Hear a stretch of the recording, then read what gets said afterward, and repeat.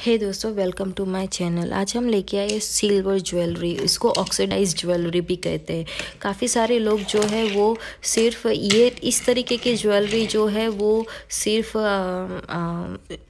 यानी lower class के लोग पहनते थे पहले, लेकिन आजकल ये बहुत ही डिमांड में आ गई है।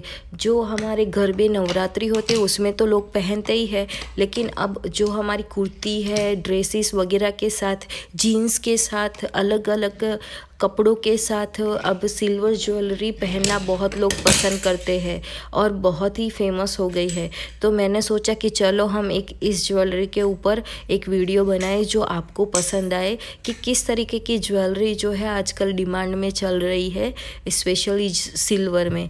तो ये एक आप देख रख सकते हो कि इसके अंदर नाम लिखे हुए ज्वेलरी बहुत ही फ़ेमस हो गए। जैसे किसी का नाम आपने लख, लिखवाया है, लिखवा भी सकते हो। ऐसी ज्वेलरी बहुत ही फ़ेमस आजकल डिमांड में बहुत चल रही है। काफ़ी सारे लोग जो है वो पसंद कर रहे हैं और भगवान की भी जो मूर्त भी है उसके अंदर डाली हुई होती है वो भी काफ़ी सारे लोग जो है वो पसंद करते हैं। तो झुमकास जो है वो बहुत ही फ़ेमस होते हैं।